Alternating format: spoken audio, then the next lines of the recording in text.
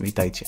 W tym odcinku pokażę Wam, jak otworzyć plik i zapisać w nim dane, jak po otworzeniu pliku pobrać dane i przeczytać, zapisać do jakichś zmiennych. No i nauczymy się dzisiaj piklować. Zapraszam. Na początek otworzymy sobie plik nowy, utworzymy go i zapiszemy tam jakieś dane. Służy do tego funkcja open, która właśnie taki plik będzie otwierać i tutaj pierwszym argumentem dla naszej funkcji open jest ścieżka, w tym wypadku po prostu nazwa pliku i ten plik zostanie utworzony, a jeżeli istniał, to otworzony i wyczyszczony w przypadku takiego użycia funkcji, jak mam tutaj mm, dokładnie będzie utworzony, gotowy do tego, by wprowadzać do niego dane, będzie utworzony w tym samym miejscu, gdzie jest nasz główny program.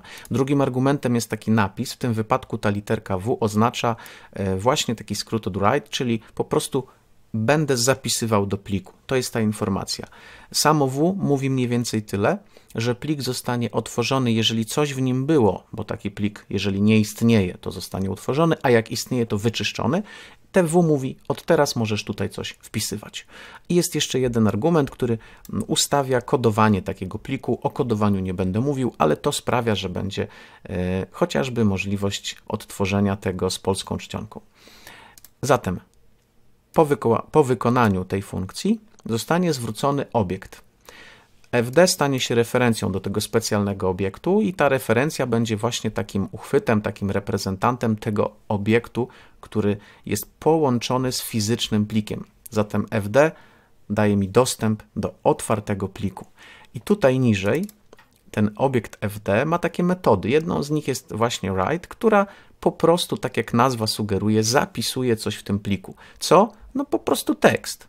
Zatem zapisz do tego pliku otwartego dane txt reprezentowanego przez fd, zapisz pierwszą linijkę tekstu, potem drugą, trzecią, a potem zamknij plik, kiedy już to zrobisz. Jak to uruchomię, w katalogu pojawi się ten plik, a tutaj już przygotowałem dla Was podgląd tego pliku dane txt. Właśnie to się w nim w tym momencie znajduje. Możemy sobie zobaczyć. Jest tam pierwsza linijka tekstu w pliku, są też polskie znaczki, widać, że się normalnie przeczytały, normalnie zapisały.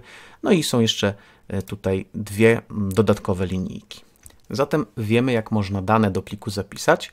E, sprawdźmy, jak takie dane przeczytać. Przy okazji importuję sobie specjalną bibliotekę OS, która pozwala wykonywać różne operacje na plikach, katalogach w systemie. Tutaj macie linki na górze do e, tych bibliotek OS czy OSPad, których będziemy tutaj Mm, z których będziemy korzystali. No i tutaj tworzę sobie swoją własną taką funkcję myReadFile, taka funkcja, która jako argument przyjmuje ścieżkę do pliku i następnie wykonuje pewną operację odczytu, o ile plik istnieje. I tu właśnie skorzystamy z takiej funkcji isFile. Nazwa sugeruje wszystko, czy taki plik jest. Zatem jeżeli plik podany tutaj w argumencie, a ściślej ścieżka z nazwą, rozszerzeniem istnieje, no to dopiero mm, wykonuje pewną operację odczytu i ponownie wywołuje tutaj funkcję open. Tym razem nie mm, argument w jest tutaj sercem AR, czyli read, po prostu do czytania. E, ścieżka jest argumentem, kodowanie to samo. Mm, fd read będzie tym uchwytem do tego pliku po jego otworzeniu. I teraz taka linijka. No i niech mi ktoś powie, że pyton jest prosty. Spróbujmy tę linijkę e, przeanalizować pokrótce, co, tu się co tutaj się dzieje. Mamy na pewno fd e, read, czyli nasz plik.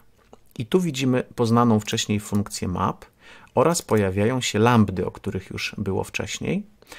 I mamy tutaj taką lambdę, oraz mamy zbiór. Tym zbiorem jest dokładnie nasz plik, zatem domyślamy się, że dla każdego elementu z pliku, od razu mówię, będzie to każda linia z pliku. Zatem ten fdread będzie dostarczał kolejnych linii, które się znajdują. O tych linii tutaj zobaczcie, e, pierwsza linia, druga linia, czyli trzy elementy będą w tym zbiorze.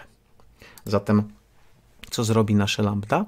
Taką linię dostanie jako argument na wejście. Ta linia jest zwykłym tekstem, Następnie na takim elemencie zostanie wywołana taka funkcja strip. Ona się wiąże z e, napisami i będzie pozbywać się białych znaków e, z początku, z końca, czyli na przykład pousuwa jakieś tam mm, entery, tego typu rzeczy, czy jakieś zbędne spacje. Następnie każda taka wyczyszczona linia zostanie zwrócona przez map, a więc tutaj będziemy mieli w to miejsce wstawiony obiekt map. No a jak już wiemy z wcześniejszych zajęć, taki wynik mogę rzutować na listę, co dokładnie robię. A jak już mam listę, to tę listę wpisuję do zmiennej linie. Po prostu lines i tyle. I teraz uwaga, skoro mam tu do czynienia z liniami, no to mogę sobie teraz w jakiś sposób mm, przeczytać te linie. No i to za chwilę wyświetlę, przeczytam, zrobię. Tyle tylko tu, że jeszcze zobaczcie na ten komentarz jako taką ciekawostkę.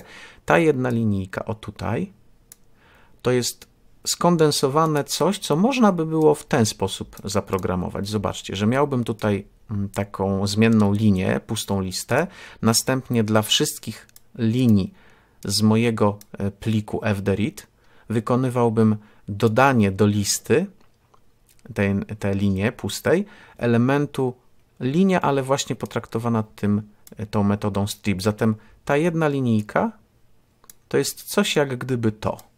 A to taka ciekawostka. Mam już te linie, w każdym bądź razie po, tym, po, tym, po tej linijce kodu już mam dostęp do tych wszystkich linijek i teraz wyświetlam. Uwaga, operator gwiazdki to nie jest C++ wskaźnik, to jest rozpakowanie tej listy na pojedyncze elementy, czyli tak jakbym tu zapisał linia 1, przecinek, linia 2, przecinek, linia 3, kolejne elementy. I tu zmieniam separator na małpkę i to wszystko wyświetlam, zamykam plik. Gdzie to jest w kodzie? Może tak, uruchomimy sobie to wszystko i popatrzmy, w kodzie znajduje się to tutaj. Pierwsza linia tekstu, małpka, nie ma enterów, zostały wystripowane. Druga linia tekstu, małpka, trzecia linia tekstu w pliku. Zatem wszystko, co było, zostało wyświetlone.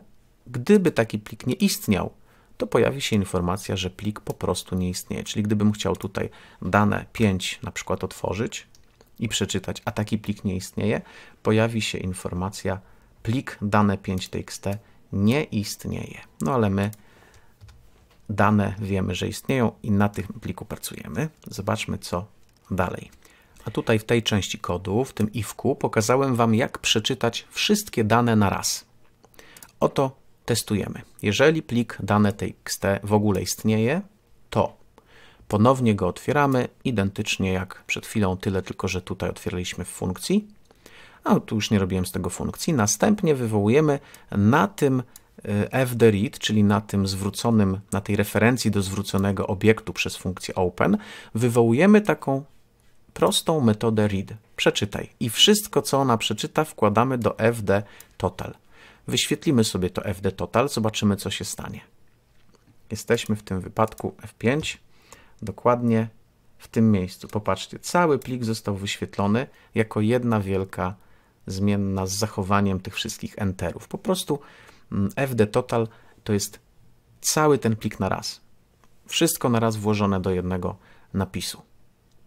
I teraz ciekawa rzecz. Po przeczytaniu wszystkiego taki wewnętrzny wskaźnik w pliku doszedł do końca, ponieważ każda przeczytana rzecz w pliku jest jakby już za tym wskaźnikiem. Kiedy plik po raz pierwszy otwieramy, to ten wskaźnik jest na początku. Jeśli coś tam z niego przeczytam, czy to linia po linii, czy wszystko na raz, to ten wskaźnik przesuwa się za każdą kolejną przeczytaną rzecz. Zatem, kiedy wszystko na raz tu przeczytałem, no to ten plik doszedł do końca. Zatem kolejna próba odczytu czegoś z niego nie wyjdzie. Muszę go albo zamknąć i ponownie otworzyć, albo ten wewnętrzny wskaźnik przesunąć na początek. I dokładnie to robi ta instrukcja. Zamiast tak jak do tej pory zamykać plik, a potem go znów otwierać, mogę po przeczytaniu całego przesunąć się na wewnętrzny taki, no umówmy się, wskaźnik, my tego nie widzimy, ale taki wewnętrzny znacznik, gdzie jesteśmy aktualnie. Czyli gdybym znów zaczął czytać, to od tego miejsca będę czytał. Więc ja się przesuwam ponownie na początek. Funkcja seek sprawia tak, jakbym ten plik ponownie otworzył. I dlatego teraz mogę znowu czytać całe te dane z pliku. Tym razem jeszcze innej metody użyję. Nie read, ale read lines.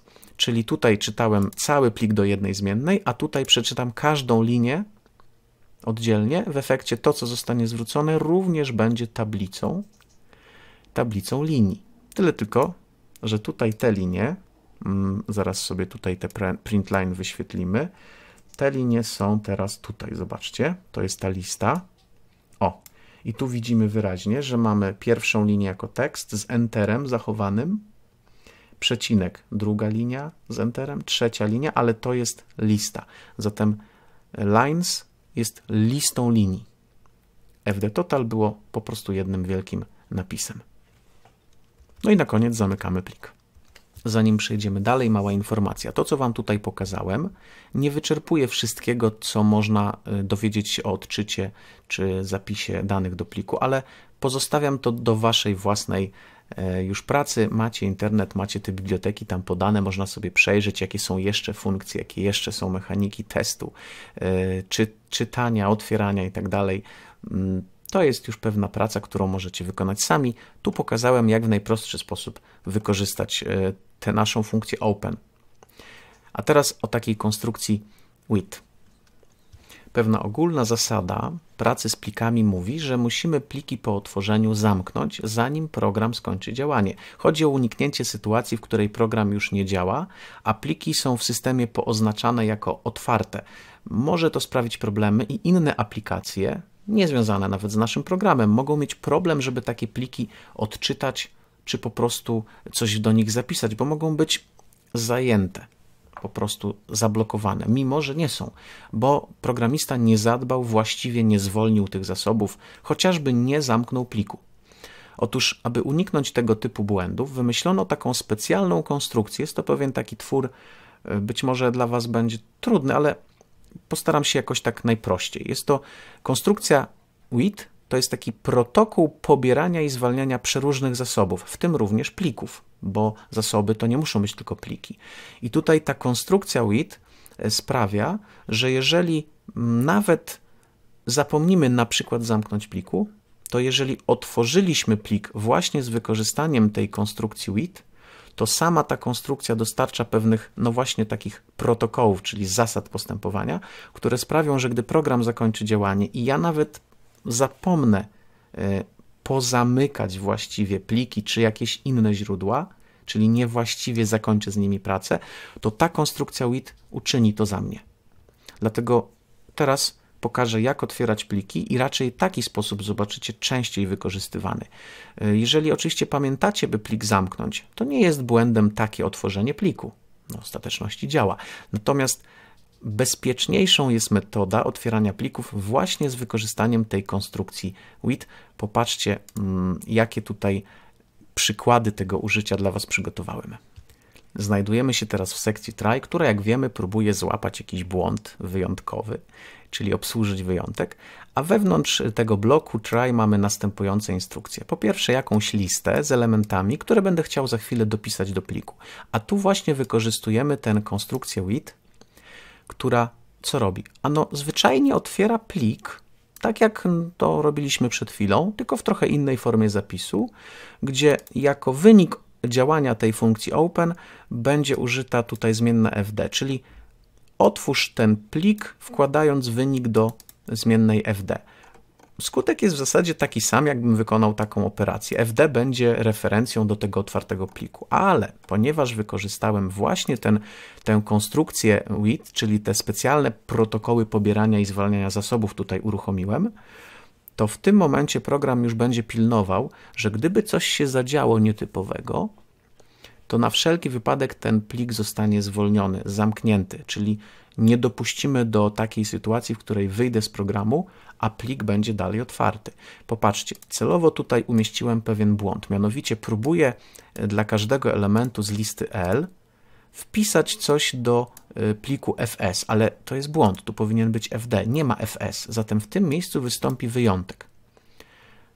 Błędna zmienna. Wprawdzie ja ten wyjątek tutaj obsłużę, ale zobaczcie, co się stanie.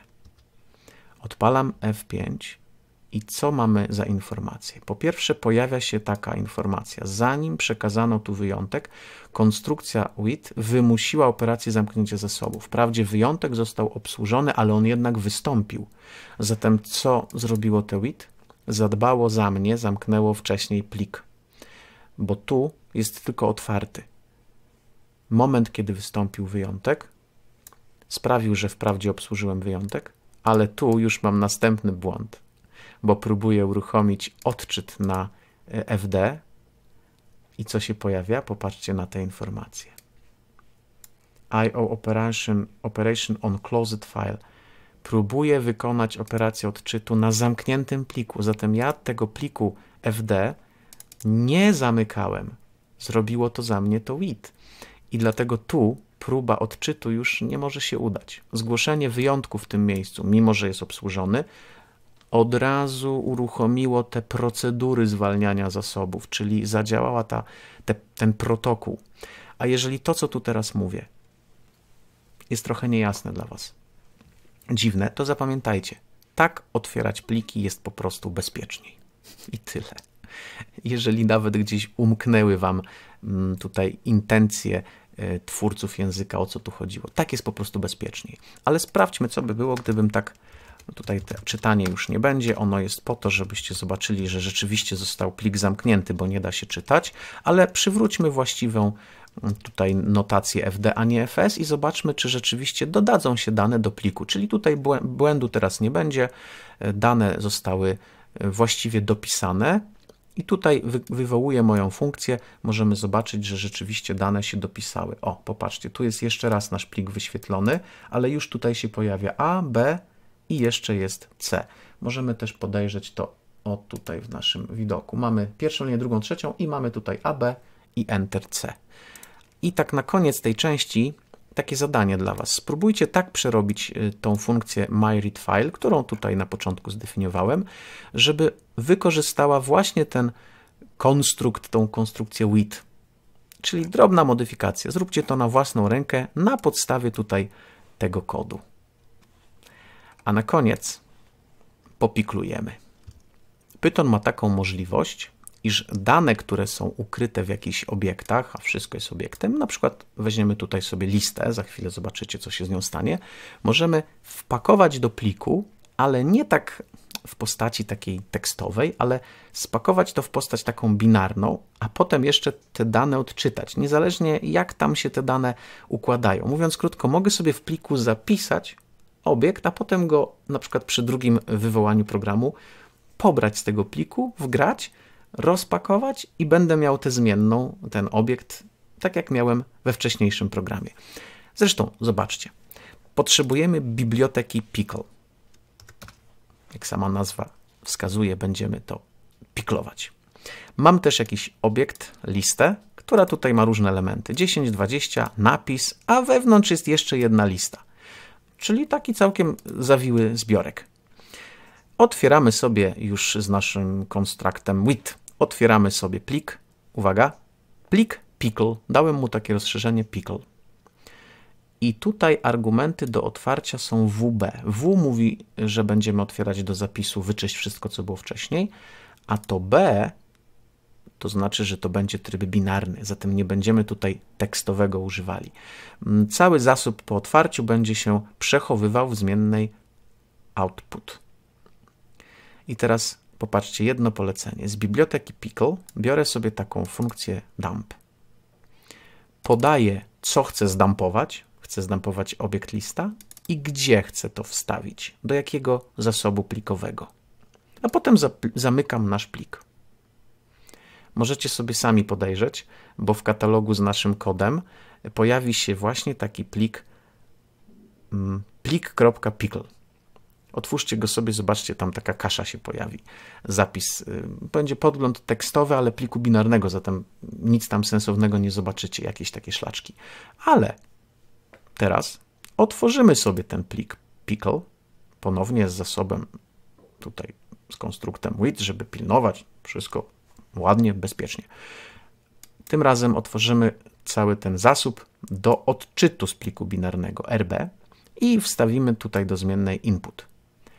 I teraz wywołamy sobie odwrotną metodę do dump, czyli load. Załadujemy sobie z tego pliku właśnie input wszystkie dane. E, tutaj ten load jest właśnie w naszej zaimportowanej pickle i to, co tutaj ten load przeczyta i zwróci, wstawimy do zmiennej unpickle. Jak sobie na koniec wyświetlimy tą zmienną, to zobaczcie. Będzie to dokładnie nasza lista z dziesiątką, z dwudziestką, ze słowem 30 i z listą zawierającą 1, 2 i słowo 3. A klasa, typ tego unpickle to jest dokładnie lista. Zatem cały ten obiekt lista został zapisany do pliku, a potem odtworzony.